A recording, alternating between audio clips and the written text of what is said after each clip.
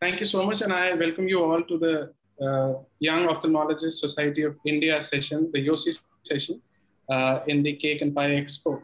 Uh, at the outset, I would like to thank the whole team of Media Mice, Matt, and his wonderful team, Ruchi, for you know organizing everything and giving us this opportunity.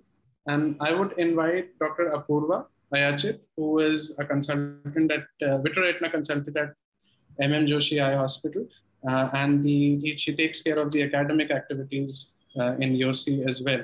Uh, she'll, I'll invite her to introduce the session for all of us. She has formulated all the questions, so she's the best person to tell us about this session. So thank you, Devakant. Uh, it's an honor, absolute honor to be moderating this session uh, with Divakant. Uh, I'm happy that Yosi is one of the hosts for this and thank you Cake and Pie for having this wonderful uh, webinar. So I look forward to interacting with all of you. We have uh, about 10 panelists from all over the world. So we decided to have this uh, session uh, about education, clinical training and surgical training, along with some practice related questions for young ophthalmologists in specific. So we've been battling with this pandemic for the last uh, year or so, and it has been hard on residents, residents uh, training, uh, surgical training, and also young ophthalmologists just out of residency in the first five years of their practice. So we decided to formulate these questions uh, uh pertaining to this kind of uh, scenario for young ophthalmologists. And uh, I hope all the questions are going to cover most of our concerns. Um, this panel discussion is going to be very very interesting because we've we'll be having perspectives from young ophthalmologists from all over the world so uh, divakant back to you yeah great so uh, now i'll invite dr digvijay singh who is the uh, director of noble eye care hospital in uh, gurgaon india and he also heads the Department of Ophthalmology at Narayana Super Speciality Hospital. And more importantly, for this meeting, he is the president of uh, the Young Ophthalmologist Society of India. To give us the opening remark, and then we'll proceed with the panel. Thank you, Devakant. And it's indeed a pleasure to be having this session and to be able to interact with all of you. And I thank all the speakers for taking out their time from their busy schedules for you know participating in this YOSI session. We are really eagerly looking forward uh, you know to hearing all your opinions and thoughts about these questions. And this is something that has affected all of us in the young ophthalmologists age group the residents the fellows and even in practice. So that's why we begin with what is more pertaining to us which is the education portion as well as the training portion. And uh, yes i you know declare this session open and i look forward to interacting with everyone. And devakant over to you and all the best thank you so much sir. Uh, so the first segment that we have is uh, the education or the clinical aspect of the training. And uh, a lot of us had to switch over to, initially there was a uh, uh, complete stoppage of the academics that was going on and all of us picked up with the online platforms and started utilizing them. so we really need to understand how these webinars have affected academics and, you know, and how uh, whether it is difficult to concentrate for uh, residents, whether it has become more interesting or easy or more accessible, and how can we overall uh, enhance this uh, teaching experience through the online platforms? Uh, for this, uh, I want to have the opinions from a lot of our panelists today. And first, I would invite Dr. Hongda. he is a vitreoretina surgeon at Chang Gung Memorial Hospital in Linkou, Taiwan. And he's also the founding member of the Young Ophthalmologist Committee in the Taiwan Ophthalmic Society. So, Dr. Hongda, over to you. Okay, thank you, uh, Divakant. Um, it's a wonderful um, chance for me and for all of us to um, come here together online and discuss about all the um, um, educational um, um, changes uh, during the COVID uh, era. So um, for Taiwan, we just recently entered a, a semi-lockdown uh, in the past one month. So it's a relatively short period uh, compared to some other countries. But um, for the past one year, we have been uh, adopting several um, measurements um, to cope with the possible uh, lockdown scenario. So we have increased our online web uh, online meetings, morning meetings, and, and the feedbacks from the residents are quite positive. So for one thing is that they have uh, less clinical duties, so they don't have to rush to the operation rooms or to rush to the clinics, so they can have a full experience on participating all the uh, morning meetings. And um, it's good because we have some polling systems on the Zoom um, application. So uh, we try to uh, add more this of this function into our morning meeting session. So to make sure that we can get uh, instant feedback from the residents and to make sure that they're still awake during the whole process. Yeah, it's easy to fall asleep in the early uh, early meetings uh, when you maybe some of them are still in bed. So uh, it's a good, very good function to have a poll uh, from time to time on the morning meeting sessions. And it's also good that um, because uh, previously, if you want to extend more discussion, um, you have to ask um, these questions privately after the morning meetings. But usually we don't have that much uh, uh, leisure time to do uh, these discussions. But now, because they don't have much clinical cases, so I found that some more active residents, they will uh, message me after um, the morning meetings and discuss further about the cases. So I think this is a very good um, uh, um, practice for all the young uh, residents because um, in the past, maybe the consultants, they don't have much time to answer all these questions and discuss with you uh, individually. But uh, at this period, it's a good, if you're active, you can al always get more from these uh, senior um, uh, doctors. So be active. I think that's uh, still a very important uh, key point uh, under this uh, COVID scenario. And another thing is that due to this um, pandemic, we have been cooperating with other hospitals in, um, in Malaysia and also um, in Japan. So we have a joint resident day so in the past, we just held, hold a resident day um, from our domestic hospitals, but now we can uh, collaborate with uh, international uh, hospitals. And uh, say for um, Japan, we collaborate with the Tokyo uh, Medical and Dental University, where uh, Professor Ohno-Matsui is working now. And we have a great resident day with their residents. So it's more stressful for our residents, but more interesting and competitive. So they definitely learn a lot from these experiences. So I think uh, these uh, webinars are very good opportunities despite we cannot meet in person, but we can always get more from these new technologies. So these are my small, uh, some of my opinions. And so now I op open the discussion to the floor and back to uh, our host. Thank you. Wonderful inputs, uh, Dr. Chow. And uh, so polling is a wonderful feature that can be utilized to engage our residents and really an interesting point where we can all uh, different medical colleges and hospitals can collaborate and hold joint sessions wonderful inputs now i would invite uh, our vice president uh, of the young ophthalmologist society of india dr sonal kalia who is also a faculty at the sms uh, jaipur sms medical college jaipur uh, Dr. Sonal, your inputs on this uh, new way of teaching in this COVID era.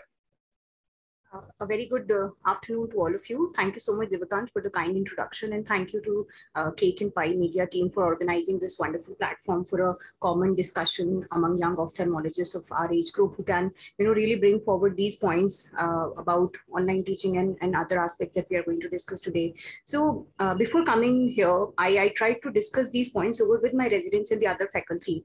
And um, I, I came to, you know, uh, a conclusion that ev like every new technology that that comes in there are every everything comes in with its own merits and demerits. So this this whole thing has had a melange of responses i should say. So uh, like there are some residents who are very very uh, apprehensive to ask uh, uh questions online because they fear that you know others will get to listen to their question and maybe that question is stupid. Whereas in an offline platform they could always uh, at the end of the class you know just follow the teacher and and ask the question personally So this was one response that I got. And then a response that I got was that uh, they could always, uh, you know, uh, have uh, a demonstration of certain techniques when the teacher was right in front of them in the uh, in the classroom. And the warmth, of course, cannot be replaced. but in the in the offline platform, they were also saying that, you know, when the teachers are, the panel of entire quorum of teachers is sitting right in front of you. So your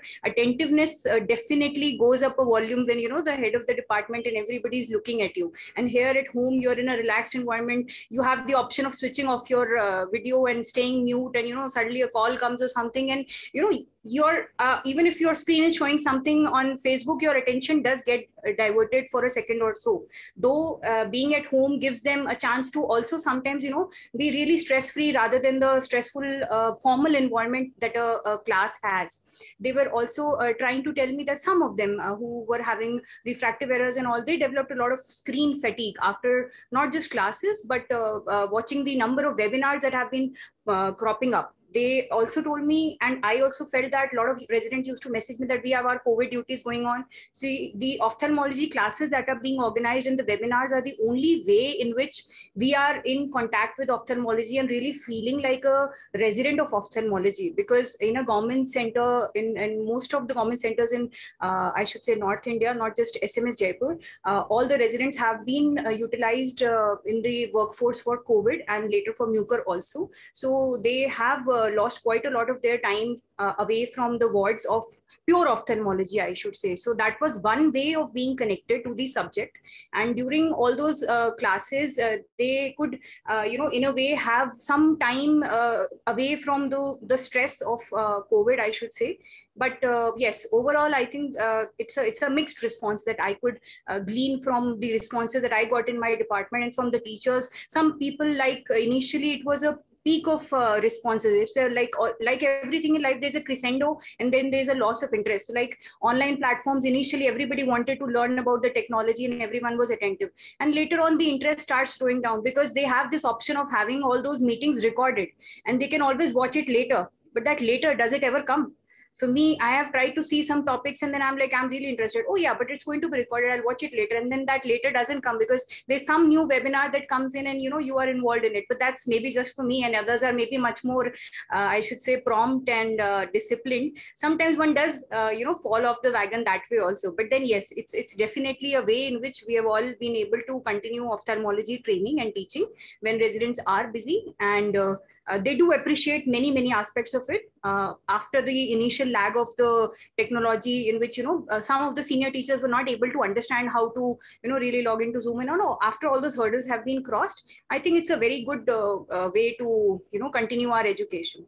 So thank you so much for this question apurva and devakant both.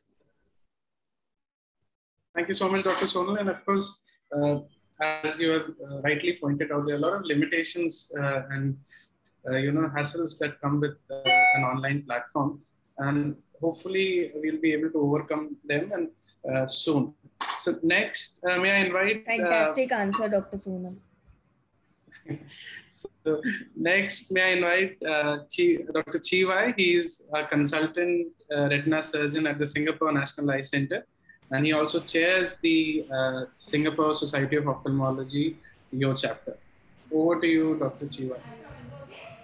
Hi, thank you, Divakan. Uh, thanks for inviting me to this very interesting conversation. Uh, I agree with many of the points that Dr. Uh, Sonal and Dr. Hongda have uh, already mentioned. And I think that um, we all have to agree that webinars have played a very critical role, especially in the initial parts of the pandemic when uh, I guess we none of us could have met up face to face for any physical teaching sessions. And in a way, he has uh, facilitated greater attendance in teaching sessions uh, where in the past it might have been uh, not so possible because of differences in clinical placement. But um, even though we have seen a sharp increase in attendance across the board for teaching sessions, I think participation levels have not increased and perhaps even decreased. And uh, the reason for this, as uh, uh, the speakers have already mentioned, is the lack of a physical classroom environment, it makes it difficult because there's there's so many uh, there's a whole range of distractions working against a fully involved learning when you're not in a physical classroom. uh, like if you are listening in the car or, or when you're still on the bed.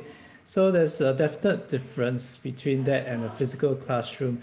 And it's also difficult to measure engagement levels because the, the teacher, I'm sure all of you would have experienced, if, if the videos are not on, uh, not on for most of the learners, you can't even see uh, whether they are there. You're just talking to your computer. You're not sure whether people are listening, whether they are uh, able to understand. You can't pick up any visual cues from the learners and you can't calibrate the speed of your teaching to match their level of understanding. So I think uh, as uh, some of the speakers have mentioned, for webinars to be truly effective, there needs to be quite liberal use of learning checkpoints within the webinar, such as uh, using quizzes, polls, uh, multiple choice questions. You sprinkle them in the session to keep the learners engaged. And at the same time, you can assess the effectiveness of your teaching.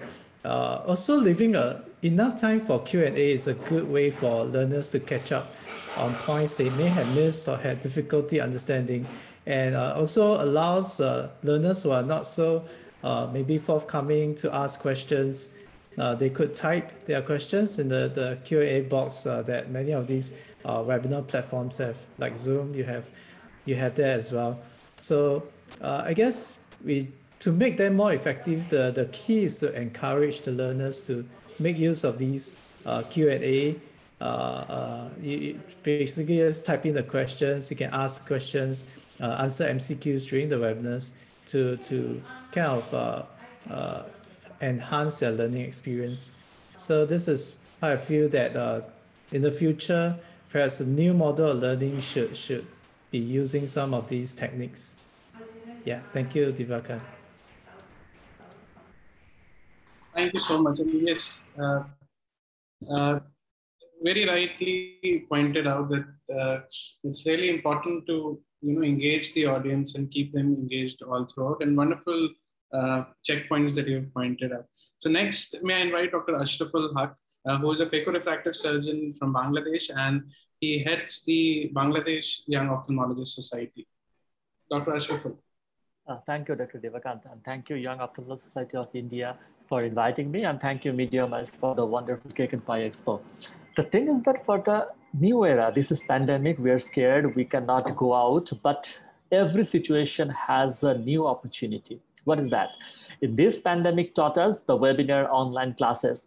So that the classroom and the classroom teaching and the webinar teaching, these are not different. Rather than I would like to say that the webinar teaching or online teaching is better because what is that? Number one is that you can arrange lots of faculties, lots of teachers. When the before the pandemic, we arranged the classes. So there are certain teachers they had to uh, come to the work, classroom and deliver the lectures. But now what is they doing? We are arranging different topics and lectures. Some foreign faculties and foreign uh, specialists are joining and deliver their lecture, which is, which is very much effective for the residents and the trainees. This is number one.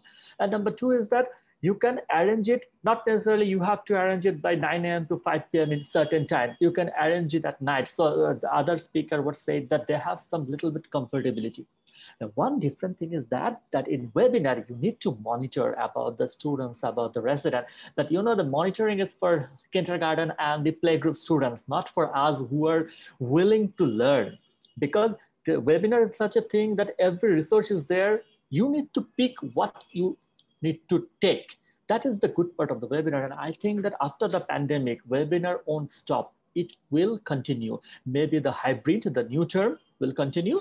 And another thing that good part is that, yeah, we have little bit uh, tech problem for the, uh, talking that our generation, we are always the tech friendly we have a little bit problem of the seniors, but this pandemic has the very good reason and very, they've also taught the seniors to use the Zoom and other platform and other things. So they are also tech friendly also. So this is also the plus point. So my point is that I am very much agreed with the other speakers that this webinar and online teaching is very much effective and this is obviously a little bit has more advantage than the classroom, but both we need to continue in future. Thank you.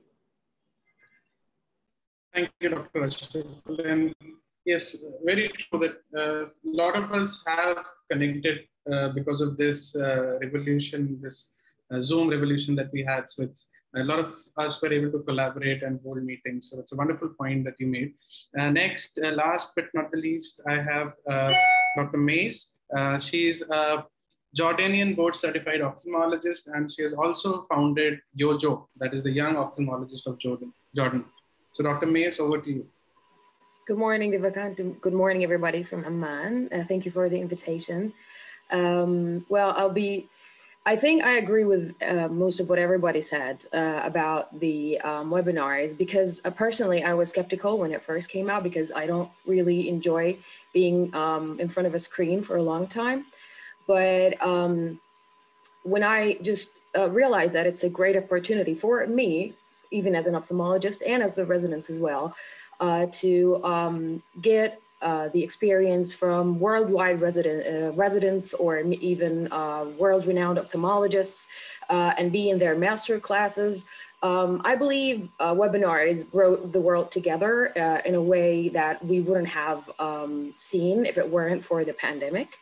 Um, another thing that we did in Jordan is that we tried to, um, you know, gather the experiences of ophthalmologists from different institutions um, where there is uh, an institution where we don't have maybe an oculoplastic surgeon, we try to um, make that oculoplastic surgeon give master class for all the residents for board uh, reviews as well. That wasn't there before. Um, so you can gather more experiences from all around when you have um, this webinar or virtual setting, let's say. Um, that's something that we didn't have or we couldn't attain before the uh, pandemic. Uh, one thing that I don't like about webinars is when they are long. I believe that our attention span would just waver past 90 minutes or so. And we experienced some webinars that went on for three hours. And I don't believe you can stay put for three hours and just listen and take on all that information. Um, incorporating polls, questions, as well as Zoom rooms are really great. Uh, we try to um, uh, try to couple or pair um, residents together or resident with a mentor in a room and they can ask them right away what they want or question that they have. That's really great. Um, also, another thing is that uh, incorporating a lot of surgical videos, a lot of um, things that are really clinical in your uh, presentation would attract the attention of um, the resident as well as any of the attendees. So um, keep it short, or concise, uh, um, try to be very interactive and avoid self-promotion. We have seen a lot of self-promotion on those webinars where you just try to uh, put on a really good um, webinar and then the uh, speaker doesn't really go into the point. They're talking a lot about themselves and stuff like that. And I believe that would just um, uh, make you lose your audience and uh, lose their attention. So, um, but I believe it's a positive thing. And I believe the hybrid concept is going to continue after uh, the pandemic. So yeah, thank you very much. Uh, thank, thank, you, so much. yeah. yeah. Apurva, any comments from you? Yeah so uh, uh, wonderful answers everybody. I that what's wonderful is that there's very little overlap between uh, between your perspectives. So it's each of you has so many fresh perspectives that makes every one of us think. So one thing i noticed about webinars was that there's this burst of creativity. So many people have had so many webinars about such diverse topics it's almost as if you're thinking about what to what webinar to have next. So in that quest i think uh, there's a lot of creativity. There's a lot of um, allied topics uh, to talk about as in uh, we've had uh, webinars about finance management for ophthalmologists something most ophthalmologists wouldn't have thought about.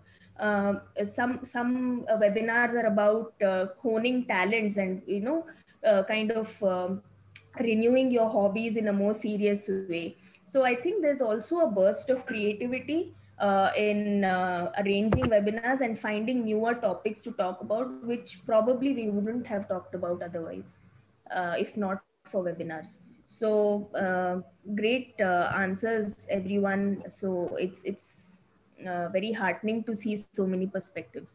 So my next question is for Dr. Chai. Mm, she is, uh, yeah. So uh, she is the head of the Philippine network of young ophthalmologists, and she has her own private practice. Uh, I remember I met you last at the global session in the OC uh, symposium. So welcome back, Chai. And uh, uh, I want to ask you how you've utilized social media or have you utilized social media as a teaching tool for young ophthalmologists uh, do you have any favorite handles or you prefer any particular kind of social media to kind of disseminate knowledge or information about ophthalmology in general hi thank you apurva um, I would like to say hi to everyone here. It's so nice to see everyone. Uh, well, with the pandemic, suddenly the world isn't so big anymore. So well, nothing can replace face-to-face meetings to social me- social beings like us. So, but I think in the middle of the pandemic, social media has impacted our lives way beyond what we thought we thought it would.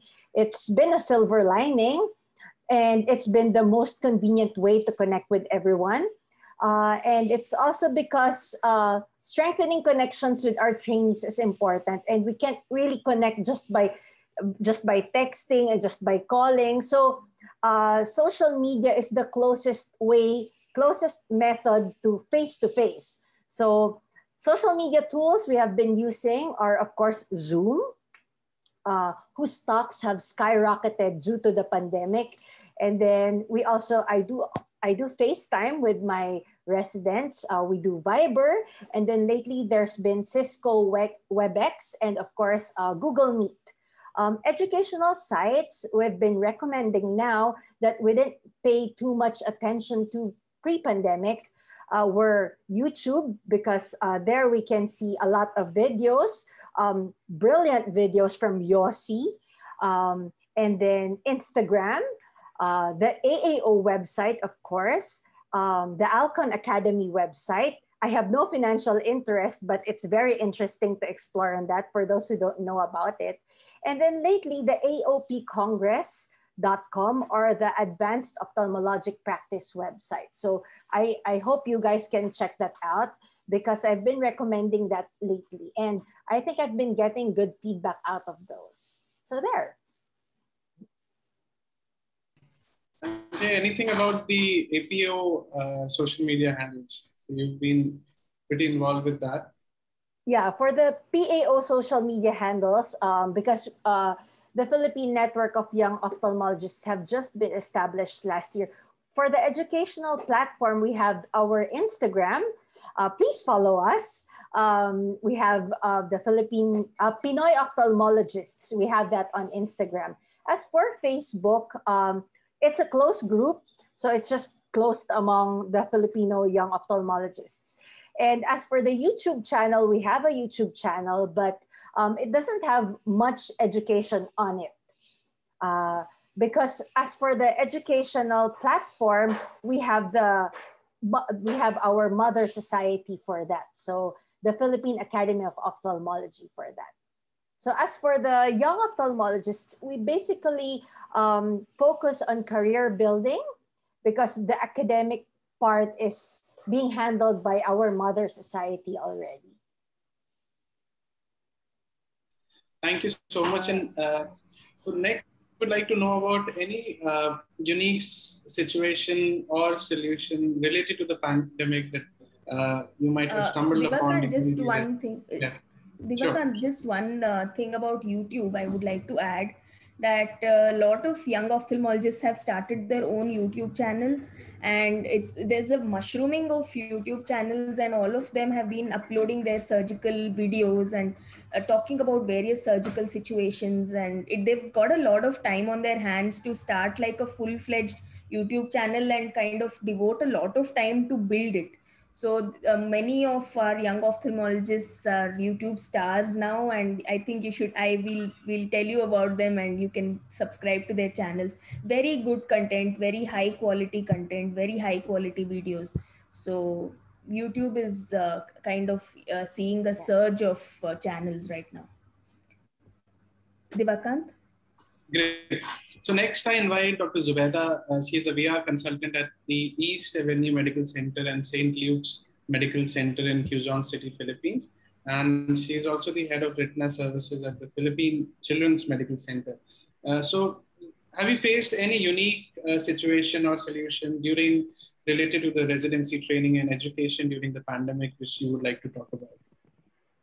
Yes, good afternoon, everyone. Thank you, Divakant, and to YOSI for inviting me to this session. And I'd also like to thank Cake and Pie Expo for providing this venue for YO educators to just talk and share the best practices of ophthalmic education. As I told the others, it's just like um, young educators um, talking in the library and sharing experiences. So um, what I'd like to share with you is the virtual clinic. So recently at our institution, we uh, set up the virtual clinic. Um, mainly this is for the medical interns and clerks um, because they need the virtual clinical exposure. Um, last year, we started, uh, upon uh, the start of the pandemic, we started immediately the e-learning curriculum for interns and clerks. However, we really found um, clinical exposure lacking because uh, they were pulled out of the hospitals. Um, so with a virtual clinic, um, it's very simple to set up. It's just a teaching scope, and then you have a phone adapter and then you have the video conferencing platform. So through this, um, the, the students in the remote lo location will be able to see the findings on the slit lamp, the anterior segment, and the posterior segment. And then there's another device that will be hooked up to the video conferencing platform, wherein they'll be able to see the room view. So they'll be able to observe the history taking interview with the patient and then they'll be also able to appreciate the visual acuity examination, including the other five point ophthalmologic exam.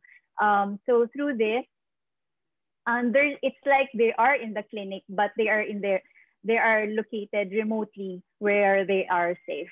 And um, not only for interns and clerks, but this can also be utilized by the residents when they need to refer um, patients to their consultants in real time. So um, they will be able to show the um, anterior segment findings and the posterior segment findings um, in real time to their consultants. Another thing that I'd like to share with you is the um, use of quiz maker apps or um, platforms wherein we can set up asynchronous quizzes or tests for the um, residents.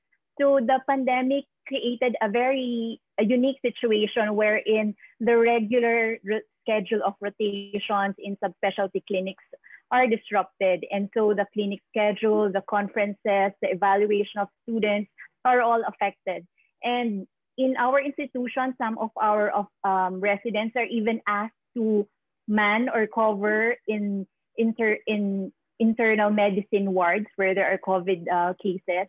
So they are not able to attend to the rotations in ophthalmology department. So what's the good thing about this asynchronous quizzes is that it's a formative evaluation. At the end of the quiz, when they submit the quiz, um, they'll be able to receive the feedback. Um, they'll see the correct answers, the wrong answers. And then there's also a link for um, references that they can read. So even if they are in a rotation outside the center, the eye center, then they'll be still be able to continue with their learning. And uh, so this one way of making our curriculum pandemic proof. Um, so that's for the training. And another thing for fellows that we instituted is the retina in service examination. Um, this one, um, this is to um, make sure that the standard of um, education in the retina fellowship uh, programs are, um, are kept at par with international standards. So we have this retina in service exam uh, once a year, which we instituted last year. So those are the things that um, I'd like to share with you and I, I hope would also be helpful to the other YO educators. Wonderful. Thank you so much for uh, sharing with us, uh, Zubeda.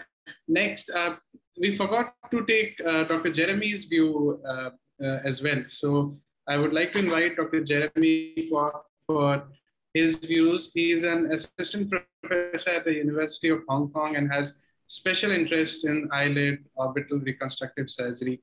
Uh, so Dr. Jeremy, any your views on the online platforms and the online mode of education that has picked up recently. Uh, thank you very much for the invitation, and thank you, um, Cake and Pie Expo, for inviting me um, and Hong Kong Young Ophthalmologists to share our um, year of COVID and our online uh, training sessions. Um, basically, we also had a lot of webinars, and I think um, a lot of uh, uh, doctors here have shared, um, you know, their good and bads. I feel that webinars are in generally uh, a good thing during COVID situation. I think um, it does enhance um, active participation. And for those who are slightly more shy, they can go to individual presenters after the presentation to um, ask their questions. Or I think the chat box is actually quite a good um, place to type what uh, what you want to ask. And um, and also for as people have said, recordings are good, but you never know if people will go back to watch the recordings. But I think in general, if you have a webinar you really want to review, or you have forgotten some of the uh, things that are said, you can go back maybe prior to a um, surgical session that you're going to go to. You can review, say maybe a younger resident, the the the phaco steps or the ECCE steps, and how to you know handle different surgical situations. Um, yeah, I think for us in Hong Kong, we had different webinars and recently we had a retinal workshop that was a two-day retinal workshop. We tried to liaise uh, uh, younger ophthalmologists for presentation. And then we have some very senior um, who has been in private practice for many years, some um, uh, ophthalmologists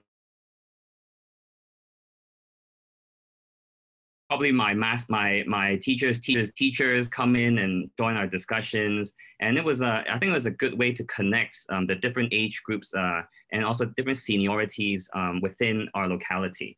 Um, so we had a very good discussion where it was i think panel discussions are a very good way of sharing instead of giving a one-sided lecture. Um, having conversations um, with different uh, uh, ophthalmologists of different experience and specialties is, is very good and uh, lastly, um, because in Hong Kong and like many other places, we have many different hospitals where uh, training and resident rounds occur um, at different times. I think our resident benefited a lot from going to different hospitals um, webinars um, to have, uh, I think, a lot more teaching than what I had when we did not have any webinars at all. So I think the resources are out there and uh, you can even pick your superstar to listen to. Uh, sometimes we have invited speakers from Canada or from the States to come share with us. And I think in general, it has connected the world uh, in a different way, uh, even though we are separated physically.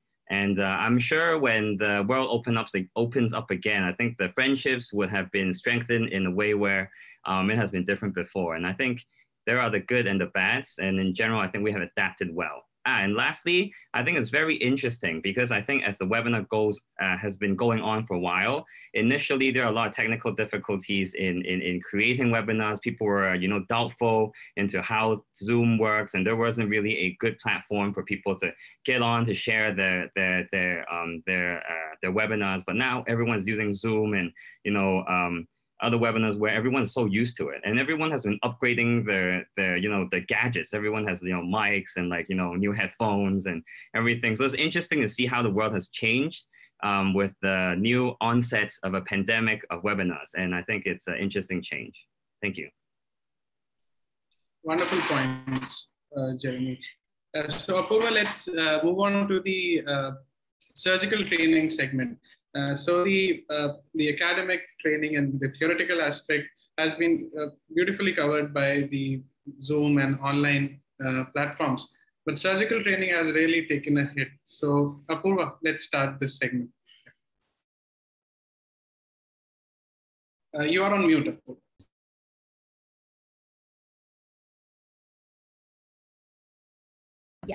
So coming to surgical training, my first question is to Dr. Hongda uh, how can one practice surgical skills when patients are less and there's uh, probably less conversion of OPD patients to uh, the surgical theater? Um, what has been, I know you're a vitreoretinal surgeon, what has been your experience in vitreoretinal surgeries, especially from the training point of view? Uh, yeah, thank you. So I think um, surgical training is one part that our uh, residents or fellows uh, fear the most during the pandemic. So, um, so it's very hard to replace the actual hands-on experience. But I think a lot of the fundamental um, ideas, fundamental concepts comes from uh, learning and uh, discussion, not from your own surgeries.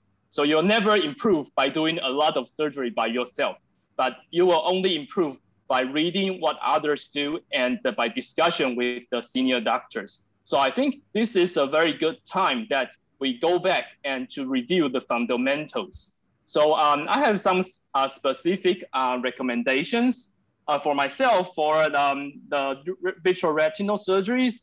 I think many, many of you might be familiar with uh, the vitreoretinal uh, surgery by Thomas Williamson. So that's a very nice uh, introduction to the basics of vitreoretinal surgeries. As for cataract surgeries, personally, I, I, gained a lot of um, experience from the Eye Atlas which is uh, from the uh, um, group called the iMovies. So that's a, uh, offers a very good uh, video uh, introductions to all the basic uh, cataract um, surgical maneuvers. So these two are my, which build up my fundamental concepts of the basic surgery. So I think this is a good time for all these um, residents to slowly and to learn how they can do better in the future. Um, another um, possible um, um, a form of learning is to seize your chance during the emergency surgeries. So um, even during the lockdowns, the emergency surgery still goes on, and um, the consultants they will have some a bit of more leisure time to let you try.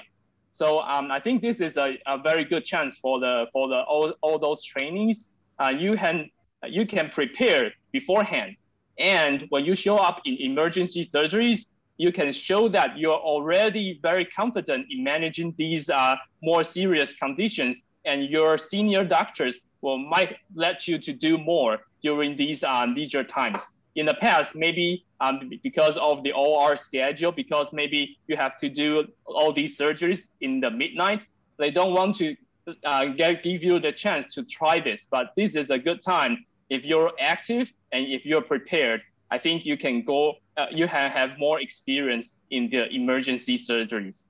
And another um, thing you can try to uh, do is that even there's no surgeries, uh, you can um, do a research on all the surgical cases or even a simple audit of all the, like say, very, uh, for uh, many hospitals, they have a RD uh, register and uh, all these database, if you go and review it, you will find many interesting um, uh, stuffs inside. So for example, one of my, um, um, my, my, colleagues, uh, she claimed that she had very rare cases of uh, recurrent retinal detachment.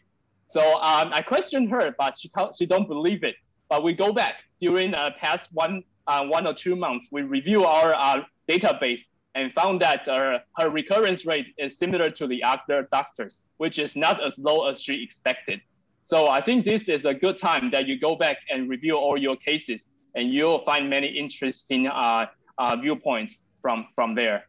Um, and the last, last thing I like to say is that um, if the lockdown um, uh, continues to more than, uh, say, four to six months, I think uh, uh, if you are in a fellowship um, stage, I highly recommend you that you will you should consider to extend your fellowship, because um, although this might sound very um, it's a very difficult uh, uh, decision, but uh, compared to your whole career, this is only a very short time period.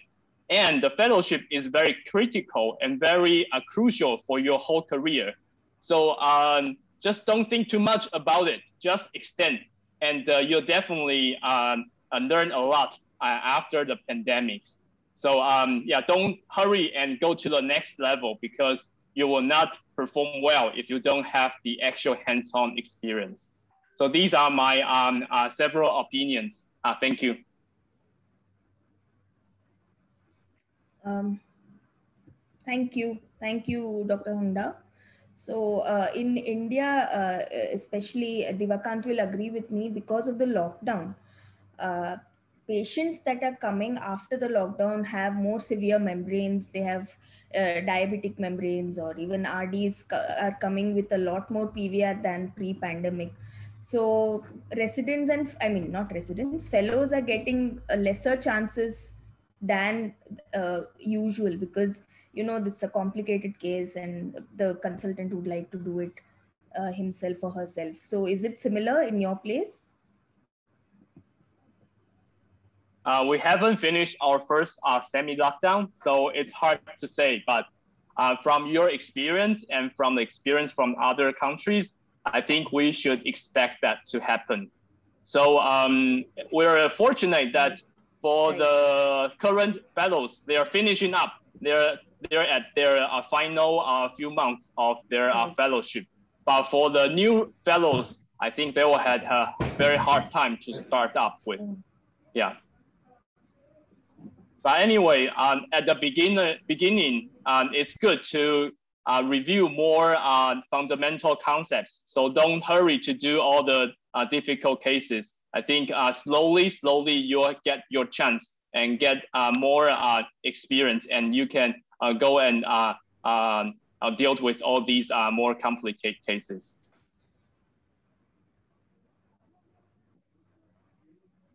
Okay, okay. Uh, Dr. Uh, Dr. Mays, your views? Yeah, okay. Um, well, I agree 100% with what, what Dr. Hongda uh, has just said. Um, I'm going to uh, talk about my personal experience because I, I just finished my board exams and I graduated residency just when the pandemic started. So I was alone in the clinic and I wanted to do as many surgeries as possible. And I'm still in my learning curve as well. So it has been frustrating at the beginning when you say, I want, I had these plans, I would do this many cases, I would tackle this and that. Then I had to step back. And I asked this question to Ike Ahmed. I had uh, um, the privilege to interview him, and he said, take your time uh, review everything uh, in, in, in non-clinical setting, like know your machine, know your patient, uh, uh, um, know every bit, make it your friend, so that when you go into the OR again, that will be just behind you. You wouldn't be, you know, flustered in these things. So try to review the literature as many as much as possible. One more thing are surgical videos. Personally, I log in to cataractcoach.com like on daily basis because uh, they do have real-time surgical videos. These are very important to watch real-time surgical videos, not the ones that are really quick and you'll be, because you'll be frustrated. They make it in like 10, 15 minutes and I take like 45 minutes to do this. And because it's not, they do have hurdles in the OR, they do have pitfalls, but when it's really heavily edited, that video, you're not gonna see these things. So try to go and see live videos unedited videos those are going to give you more you know realistic expectation to what is going on. And also see videos that are sent from residents where they have gone wrong and how to actually um, um, you know correct that. One more thing that is also good in the pandemic that people are actually or mentors or more senior um, specialists have been offering their help a lot um, even if it is just theoretic, theoretical, not, not, not in the OR. Like you say, I have this problem. They have more time to talk to you, to chat about your technique, about what you do, about how to overcome this in the future. Also know your patients more. It gives you more time to know the patients, to actually evaluate the patient better and be patient yourself with yourself. You know, taking more time is of paramount importance. Just keep on telling yourself, we're going to get there. We're going to do that. Um, I'm going to do more surgeries uh, in the future. Um, I'm going to have more chances as well. But also remind yourself that you're going to have to work triple as hard when this all goes off because uh, you need to catch up a bit, let's say. Um, but also, it's not that bad because you are going to be more prepared. You're going to have your base that is, you know, really solid and build up on that. And don't lose hope. Keep on a positive outlook to things. Um, our careers span most of our lives, and um, we're going to have time. It's not a it's not a contest with who did more surgeries or who's going to be the first because being the first is a thing you are the first just one time then other people are going to catch up. It's about consistency in your practice at the end. So um, you build up consistency by being patient, I guess. So um, that's it. You know, there are a lot of resources, a lot of people are going to help you uh, and be patient with yourself. Um, also, if you have a wet lab or sim simulation, it's it's really important to practice uh, on these things. You have access and privilege to these things. These are really, really of paramount importance in such times. Unfortunately, in Jordan, we don't have that, but um, I believe if your country offers these uh, um, facilities, uh, they're going to help you a lot um, in honing your skill. So yeah, that's pretty much it.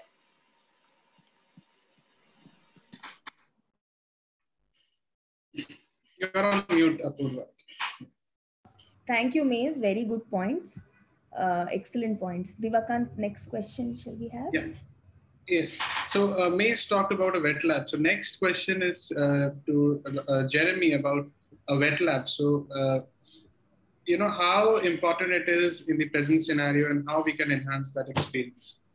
I think for me, when I was uh, resident uh, training in like year one and two, I we are we already we had a wet lab. Um, I think the facilities were not as good as they were now. Um, in the past, we had like a retired phaco machine, and also like we suture on pig eyes, and um, we still use pig eyes nowadays because I think of the of the feel that is, is more real than maybe an artificial eye.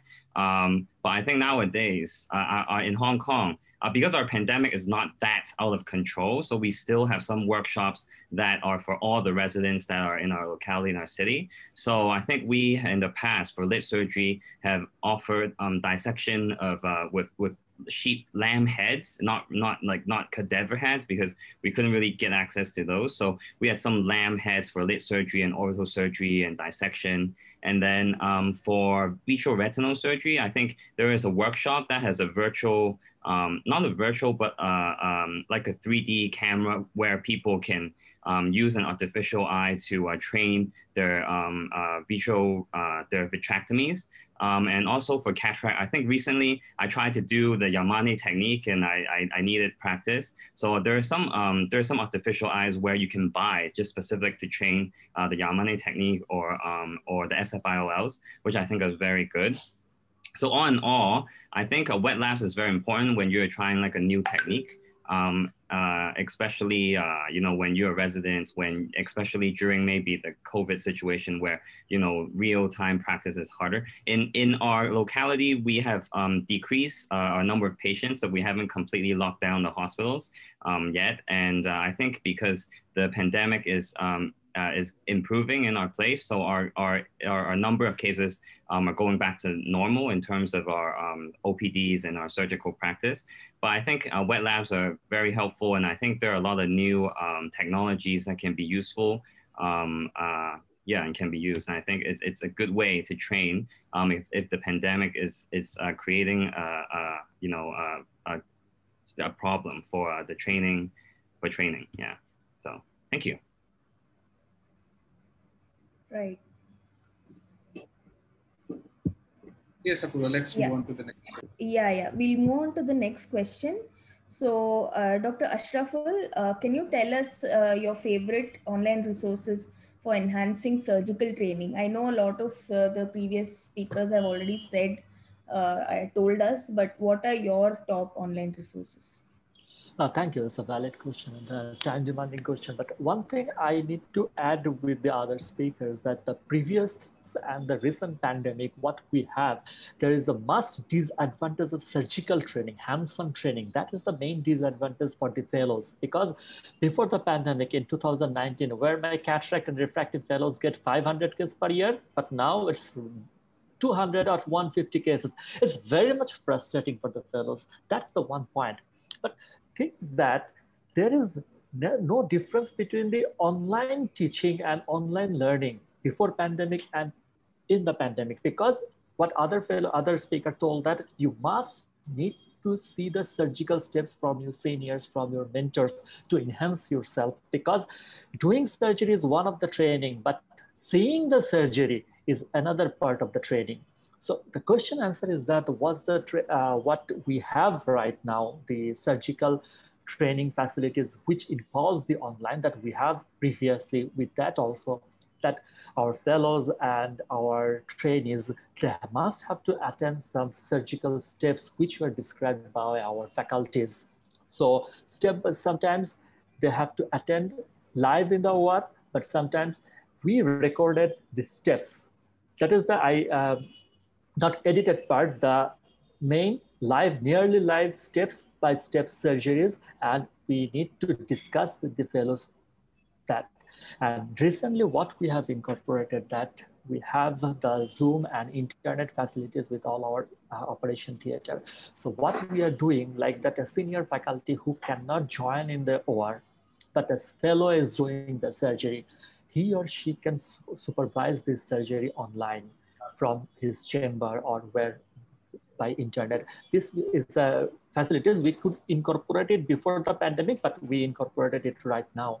And another thing is that the best thing for the pandemic, we get a little bit more time so that our faculties, this is the most regular time for the faculties that they will sit with the trainees online about the surgeries. Like I am the faculty of cataract and refractive. So this is my weekly routine to sit with my trainees, my fellows about all the steps, basic steps, theories and fundamentals of these surgeries and what they are doing to supervise and also see their surgeries maybe I cannot go to the hospital all uh, six days, but this is with online Zoom or other um, uh, internet facilities, we are supervising and we are discussing with them.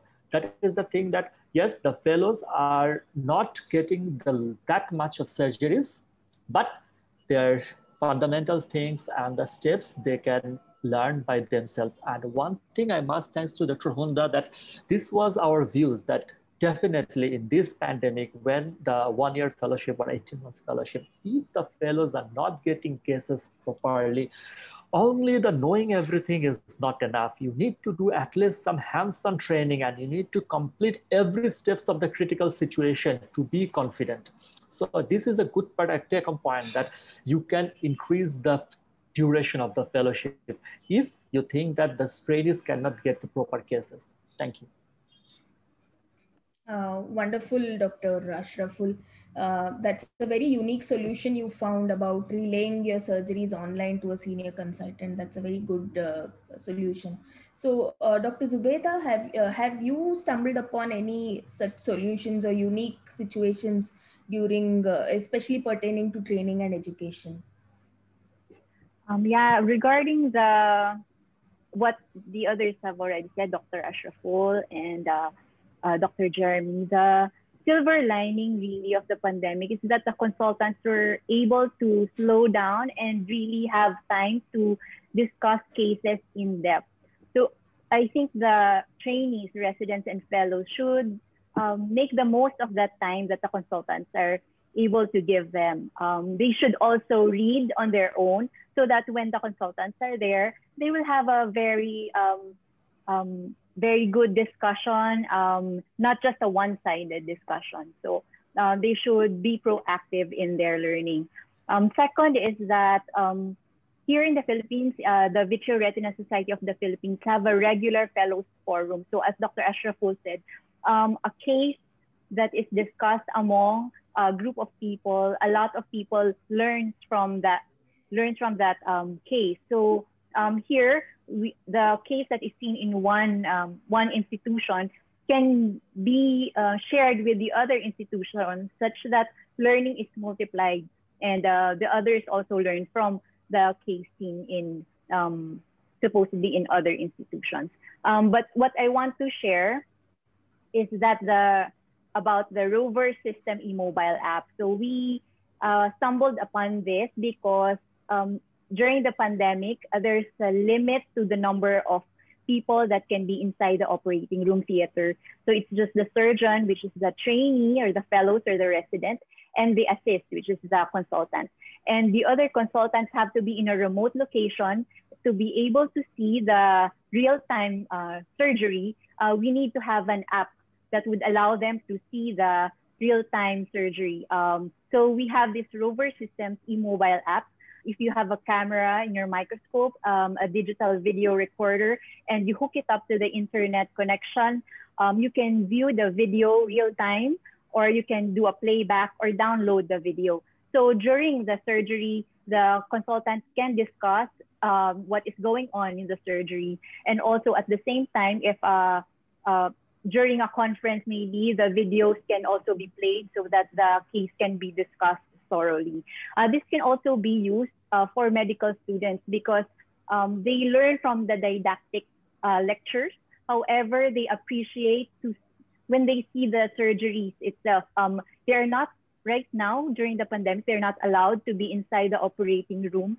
So um, the video, the surgical videos really help for them to grasp the um, the better understanding of what we discussed in the lectures uh, for medical interns and clerks. So that's what I wanted to share. Uh, thank you, Dr. Zubeda. I think uh, your answer uh, had many common things with Dr. Ashraful's answer as well. Please, could you leave uh, the name of the app in the chat box? So, yeah. So my next question is for Dr. Sonal. Uh, this is a very important question. Did you notice any major gaps in knowledge or practice patterns amongst residents or fellows when there was some respite and they came back to the uh, ward and the OR? Were there any major knowledge gaps or practice gaps? Thank you, Apurva, for this really important question. So um, yes, um, uh, so our setup was is was such that uh, we were uh, lucky enough to have a, a, small satellite or peripheral hospital attached to the main medical college hospital for the eye department.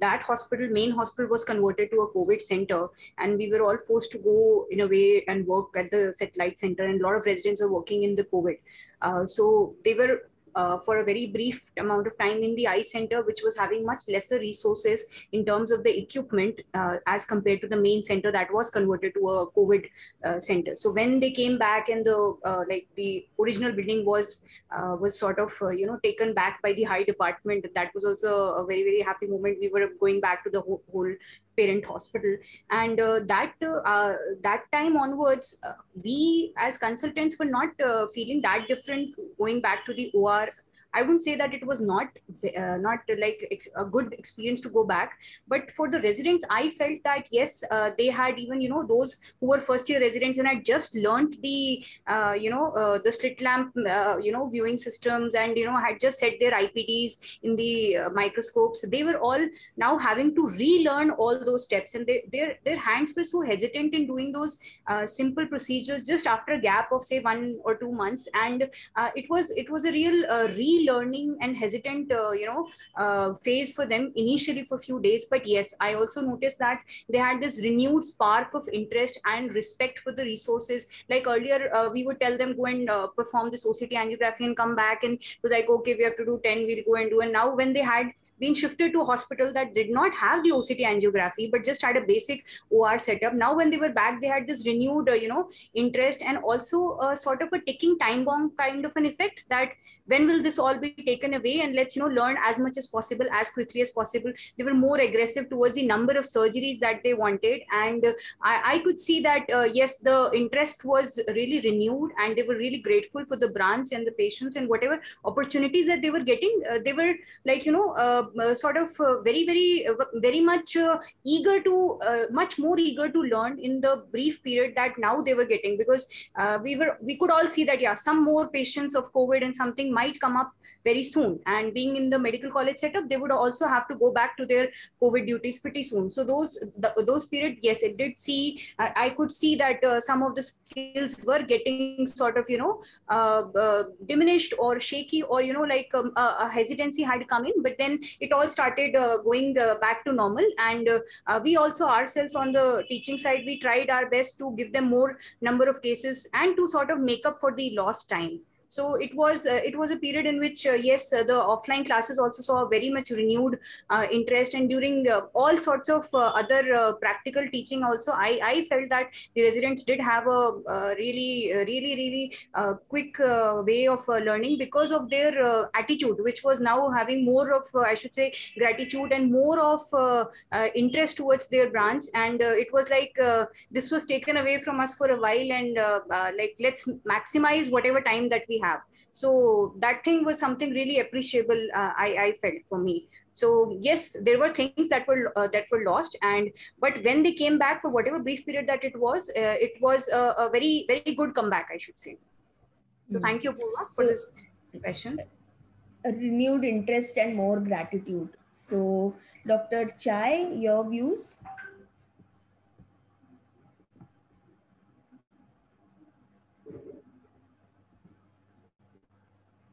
Chai, you're muted. Yes, yes, yes. Sorry, mm. sorry.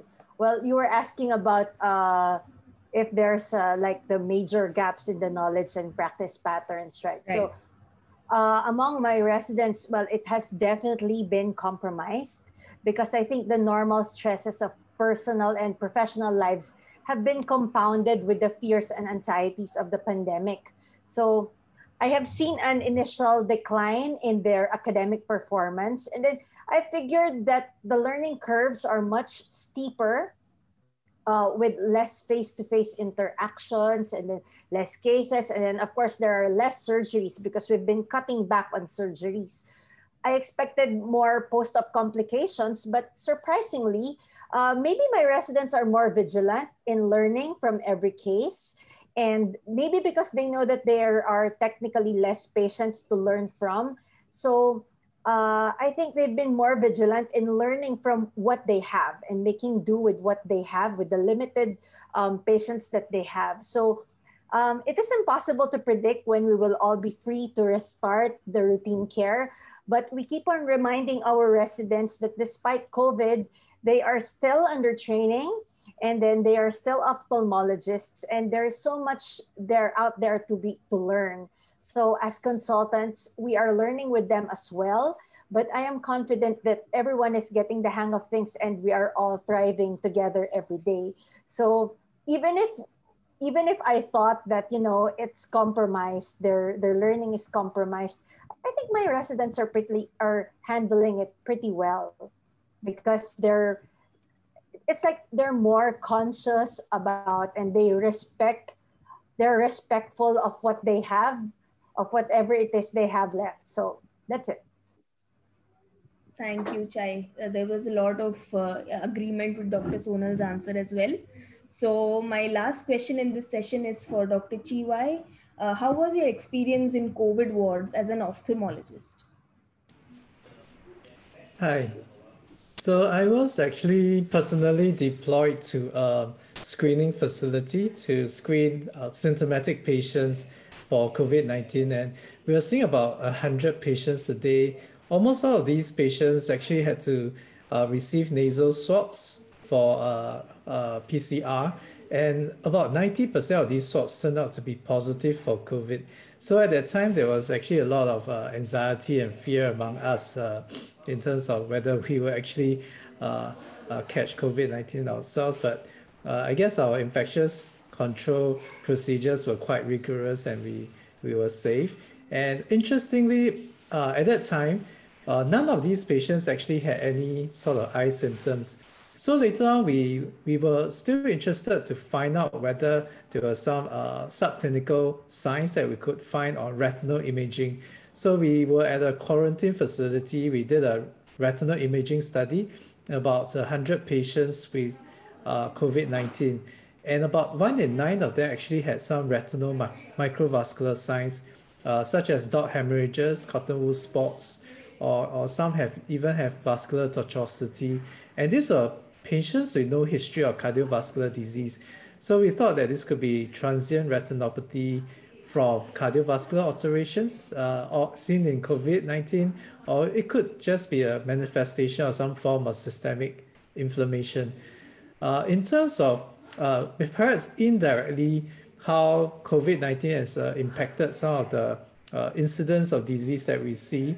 Uh, would be that we saw actually saw a slight spike in the rates of uh, endophthalmitis after intravitreal injections. And at the time, there were some reports also coming out of this increased uh, incidence of endophthalmitis. And it was postulated that uh, this was because patients were wearing face masks and uh, respiratory droplets were actually inadvertently uh, directed towards the eyes during during the intravitreal injection. So this led us to change our practice whereby uh, patients still had to wear masks, but we made sure to tape this mask down, uh, make sure they were airtight to prevent any possibility of these respiratory drops from reaching the eye during uh, intravitreal injections. So this was one of the interesting uh, sort of increase in uh, rates of infection that we in the eye that we saw during COVID-19 uh, pandemic sometime last year. Uh, so far, I think we have got it quite well controlled now. Thank you. Okay. Okay, thank you. Uh, as a continuation of that question, Dr. Zubeda, uh, how was the triage system in your hospital for ophthalmic checkups, considering it's more of an elective specialty? Well, first of all, it's really very important that for an institution to have safety officers. So in our eye center, we have a group of safety officers composed of doc uh, doctors, nurses, and the chief resident. Um, the group of safety officers, they overlook the adherence to protocols, review the safety protocols, and they also oversee and uh, coordinate the contact tracing so that there will be an immediate response when a case is identified. Um, second, the appointment system is very important. This will avoid crowding in waiting areas, and uh, we can limit the number of patients coming in in a particular time. Um, third is that uh, we have a triage officer um, that interviews the patients coming in. Um, they have a health declaration form to make check the symptoms and the exposure of the um, patients and the caregivers that are going into the eye facility. Um, also, we have a red eye triaging system. So the it is not very common to have conjunctivitis, but it's a um, for patients with COVID. But it is a manifestation of COVID. So we have had several experiences with that. So we set up this red eye triaging system. So if a patient has red eye, they are immediately sent to the red eye triage, um, evaluated if the patient um, is at high risk for COVID infection, and they will be sent to the um, COVID emergency room right away. If not, they'll be sent, uh, they're allowed to go into the facility and evaluated further. Um, but uh, the last thing is that we are very heavily rely, relying on testing. So we use RT-PCR and antigen testing uh, for patients that will undergo procedure and also for patients that we think are at risk for um, COVID exposure, uh, COVID infection. So those are, uh, so far, we are able to control um, the COVID exposure and COVID infections in our eye institute. And we are able to keep our staff the patient uh, safe, um, um, provide a safe environment for, for the, uh, everybody. Okay, thank you, Zubeda. Uh, Divakant? Yes. Uh, so next, uh, my question to Che, uh, did you use an eye for a patient with the pandemic? Oh my goodness, yes. Um, I lost an eye and a life during the pandemic. And then because during the first parts of the first few weeks of the lockdown in March 2020, I was so scared to go out. So I canceled my clinics and then I refused to hold face-to-face clinics. So I tried to push online consultations, but as a private practitioner, the private patients thought it was free. So and then a lot were uncomfortable with it. So I finally decided to retrofit my clinic put all the air purifiers and exhaust fans and vents. And then on my first clinic day, my patient with orbital lymphoma came with more extensive lymphoma and then he had no vision anymore. So when I asked why didn't he call me or tell me about it, he said, because doctor, you didn't have clinic. So, and then I had a retinoblastoma kid with recurrent retinoblastoma who felt who failed to undergo treatment again, when I asked why, they answered because of the lockdown. So because there wasn't public transport. So since then, the words I didn't I didn't have clinic and then lockdown, lockdown, lockdown kept on resonating in my head. So because of that, I vowed never to miss clinic again, despite periodic lockdowns, despite surges in COVID cases here in my country, because we had we have them every now and then. Uh, it's like a vicious cycle. Uh, so even if we have those, I don't miss my clinic anymore. But I think it's because I've retrofitted my clinic already. And I think a lot of doctors have done that because our parent society has given out recommendations uh, to how to retrofit our clinics and to make it safer for everyone. There. Such a difficult situation for physicians in general. Uh, Apurva, the next question, please. Yes. Uh, so, can you? Um, I think uh, uh, Divakant, we've already had a social media question. I think we can skip that, isn't it? Uh, this is in terms of uh, you know utilizing social media for your practice. Okay, Dr. Jeremy, your thoughts? Maybe we can have a quick comment. Yeah. Yes, Dr. Jeremy. Uh, I think we've been using a lot of um, WhatsApp since WhatsApp has been around. Like for the residents, when they see a case or a CT that they've done, they want like secondary um, consultation for say a specific oculoplastic situation. Then um, they will usually send uh, through WhatsApp uh, a video of um, you know the CT scan or um, whatever they are struggling with to uh, more senior ophthalmologists, and then we don't really have to uh, return as much. Um, secondly, we, uh, in terms of social media, is less so because I think there is um, more of a um, of a patient confidentiality. So usually would not post it anything on uh, you know like uh, Facebook or WhatsApp. I mean Facebook or or um, Instagram. But I think we have started say um, for some of our prison consultations because in our practice um, in our hospital we do see some patients who are inmates in in the in the prison. We're trying to set up a connection between the hospital system with with the, and also with the in, inside prison clinic so that we can uh, um, we can see the notes um, and whenever the patient needs an OCT or something it can be seen within the prison and the patient doesn't have to come out. Um, and also uh, we try to do some telemedicine with um, new slit lamps and and things um, within the prison so that it's, it's a, I think um, something new we're trying to test first. We haven't really done it with patients who are we actively have in our hospital currently. But because uh, of the prison consultations, we don't have to go in so frequently now. Then um, those are things that we have adapted to uh, with a um, COVID in mind, or with some kind of um, uh, limitations in, uh, in, in in breaking some barriers of going into prison, etc. So this is some things we have changed. Um, yeah. Apart from that, I think. Um, for consultation, usually it's just through uh, uh, WhatsApp to to try to yeah for for for help kind of thing yeah. Okay okay. Right divakant? Yeah uh, so next question is for dr ashraful so this is in terms of uh, somebody having a private practice or having his own setup.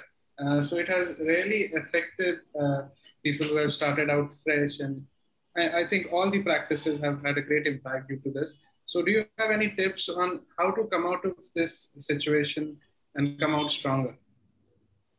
Yeah, thank you, Dr. Divakant. Because uh, in this COVID situation, we all face these, though we are who are doing the private practice. So I can share my stories that one thing is that you have private chamber only, and second thing is you own the hospital. The second impact is very big when you have the hospital like us, we do the group practice and we have nine branches. And when the COVID pandemic started, it really impacted us because we closed our hospital for 15 days and 15 days for nine hospitals, it's a huge financial thing. But one thing is that that you need to make some structures that what is the thing in this time when people are afraid to go out to come to the hospital you need to email you need to communicate with your old patients who had get service from you previous days that yes what service are now we are offering that you can come when you need to our hospital. We are safe. We are maintaining all the precautions. Everything we are maintaining that we need to encourage and make them feel safe to come to the hospital and again, we need to spread the things to the local community that yes, this hospital is open. Because in this pandemic, what happened in lockdown, so some uh, I all time is not emergency. And when the chamber practice is going, all not doctors are sitting in the chamber, but you need to spread the news in the local community that yes, your hospital, your chamber is open. That is one tips. And second tips is that when it's come to the hospital, you need to make sure that your major stakeholders, your major surgeons, like who has bulk of patients, they must need to do the chamber. It's very tough, but you make to come to a situation that they continue their chamber. I was affected in COVID two times, but I could not stop my chamber. Similarly, the other practitioners and definitely the surgery, you cannot stop the surgery. Surgery facilities must have to continue with all the precaution because the surgery is the main revenue for the hospital. So for who are doing the private practice, the thing is that good service and definitely awareness among the patients that you are giving the service and patient has the faith that yes, they can get the best service when they come to you. That is the main tips to recover from this situation. Thank you. Fantastic points, uh, Dr. Ashraful. Uh, Dr. Divakant, would you like to ask the next question?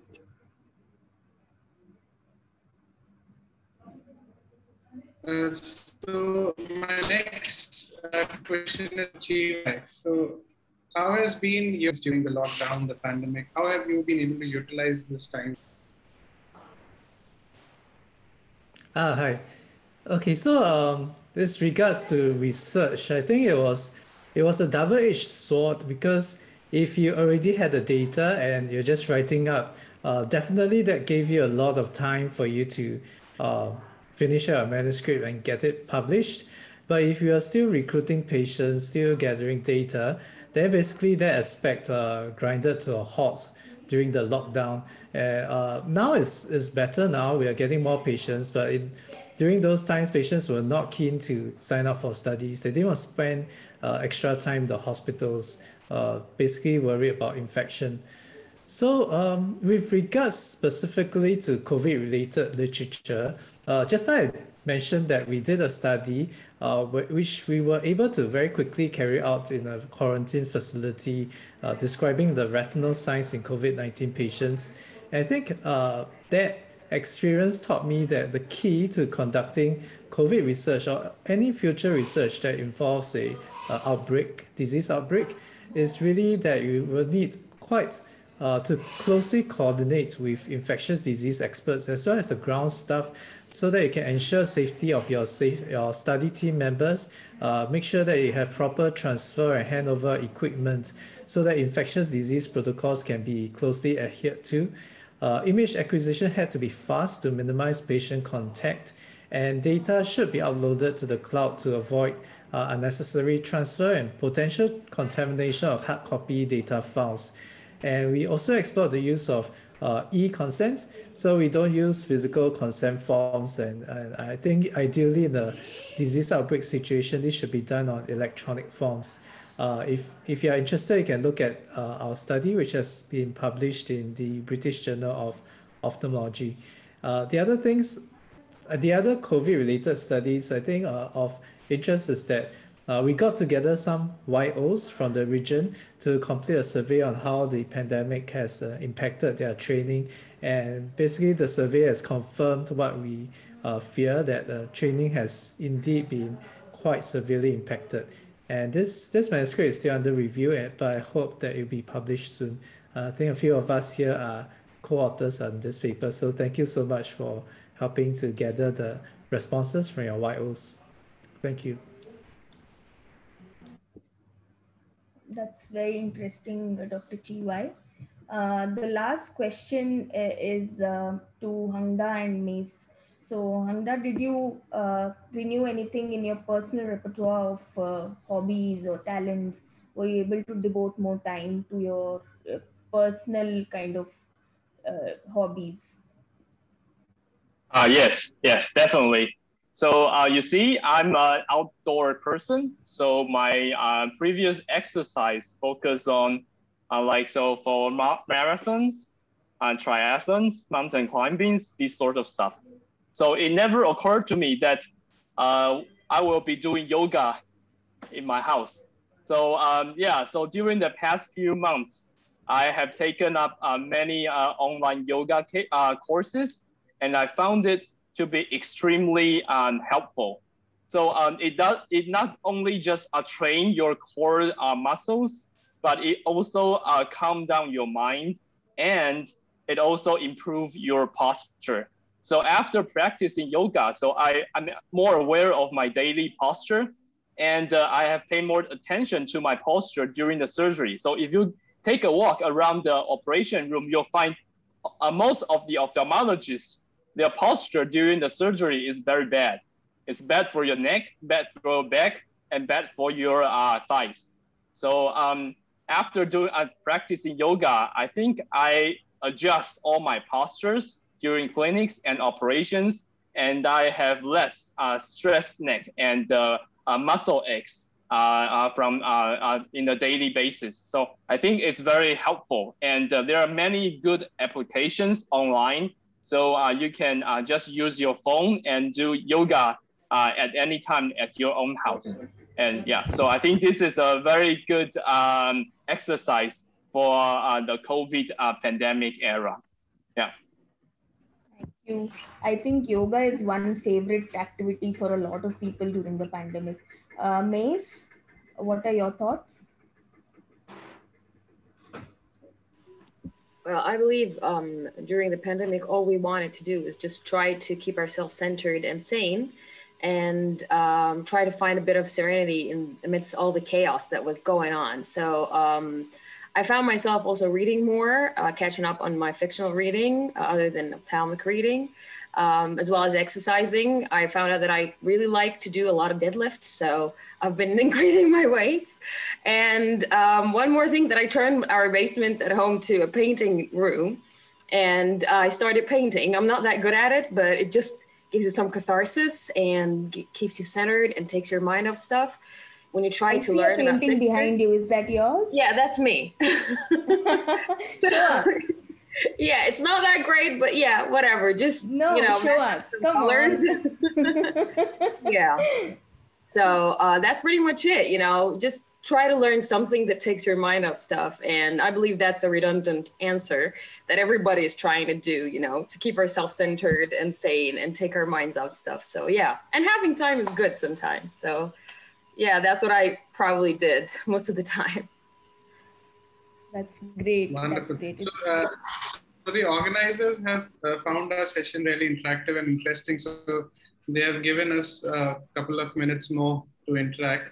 So, so any more comments from anybody? It's an open house. Anybody wants to give a comment uh, before we close the session? I, I think I you know step in. I've been kind of listening to everybody. That's what I told Divakant. I said, you know, I'm not going to speak much. We just want to hear from everybody what's happening. And Sonal's given our points of view from the India perspective.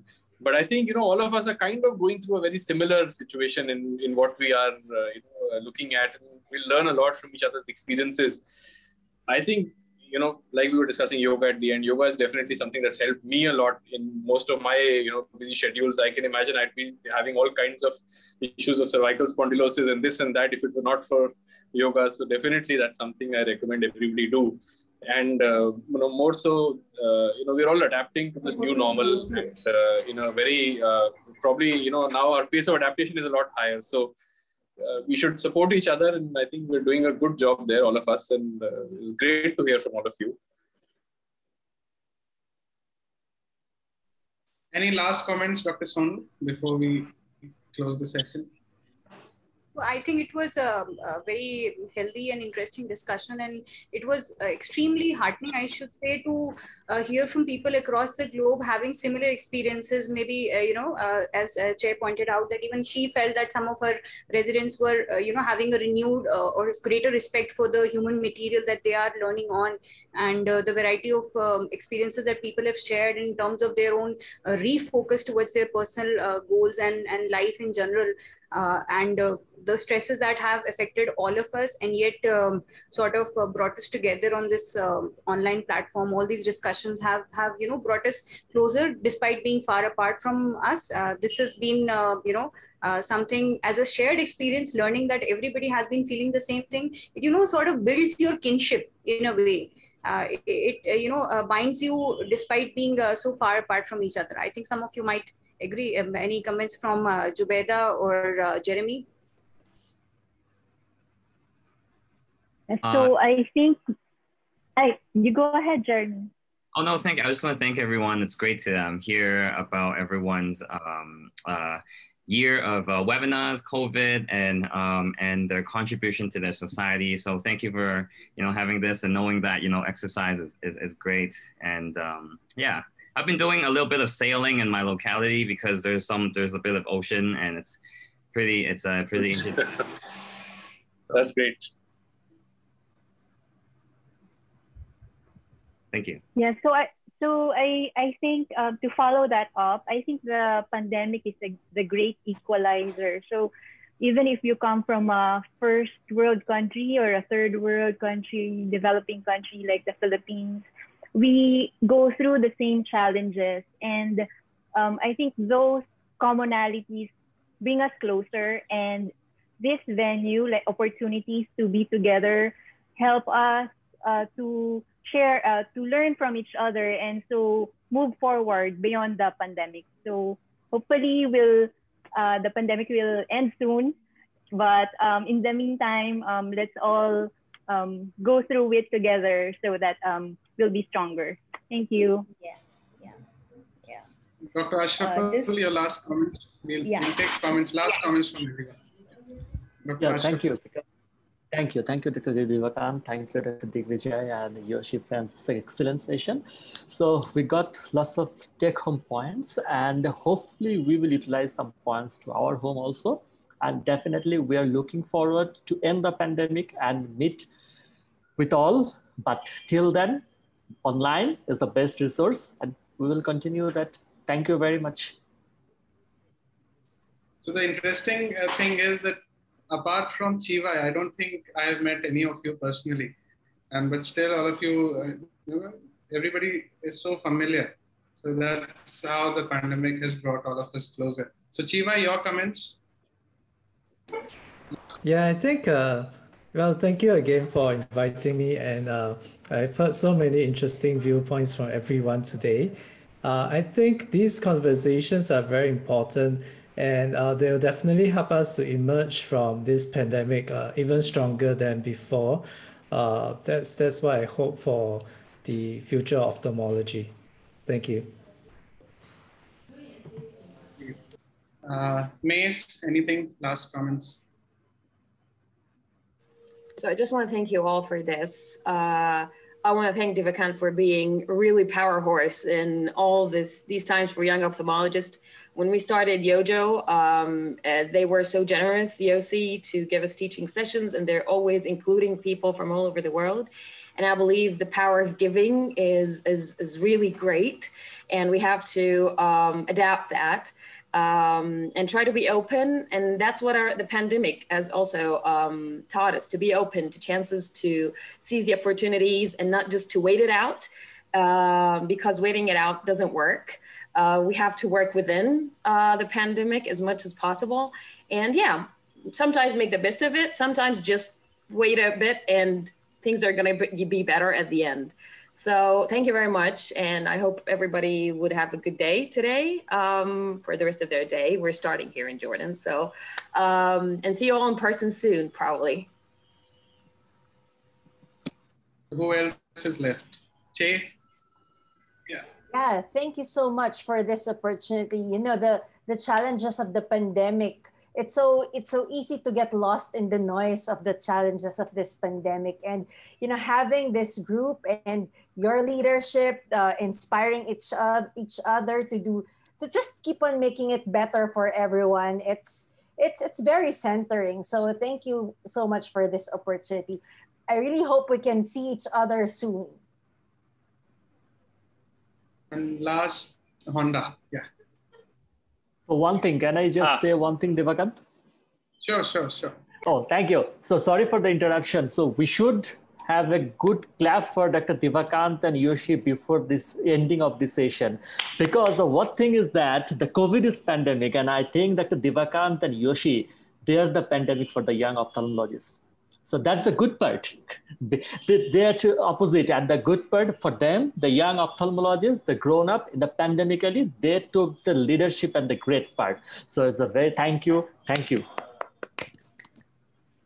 It's a good time to acknowledge the team effort and the leadership that we have in the form of Dr. Vijay, Dr. Apurva, and our next president, Dr. Sonal. So hopefully greater times ahead in front of us. And Dr. Hongda, your last comments, and then Apurva, we can close the session. Uh, yes, yeah, I totally agree with uh, Divakant. Uh, the only person I've met in person is Chee Wai, but yet everyone seems so familiar. So uh, thank you all for the great discussion, and thank you for hosting this uh, nice, uh, excellent event. Thank you all. Yes, I said so. A special thanks to you, uh, Divakant and Apurva, for you know moderating the session so beautifully, so seamlessly It was absolutely nice. It was mesmerizing to listen one thought and another and another, and it was amazing. And thanks to all the panelists and all the attendees who are attending this session, to Cake and Pie Expo, the Media MICE, the organizers for giving us this opportunity. You know, we'll, I hope we continue to work together in the future. All the young ophthalmology societies, all of us as uh, leaders, as friends, you know, and we make this grow further our network. And uh, again, a special thanks to Divakant and Apurva for putting this together. Wonderful. Apurva, your comments, and then we'll have a good uh, group photograph and we'll close the session. No, I mean, no final comments really. I just think we all had a great time uh, spending more time with our families. I know uh, Divakant had a baby recently. I I have a toddler now, 18 months old, and I think Che is a mother to two toddlers herself, she told us last time. So I think we got a lot of time to kind of spend with our children, which we wouldn't have if we were working full time. So yeah. Uh, that's it. Let's have a group. It is really appreciable that despite these toddlers, Divakant and you have done such a phenomenal job at uh, making this session and other sessions uh, a, a great success. let's let's have a group. group let's have a your group photo. Very good. Thank you very much. It was pleasure having you all at our show and uh, the recording will be available 48 hours after the show. Thank you. Thank you. Thank you. Thank you. Bye, everyone. Bye-bye. Bye-bye. Thank you. Bye. Bye.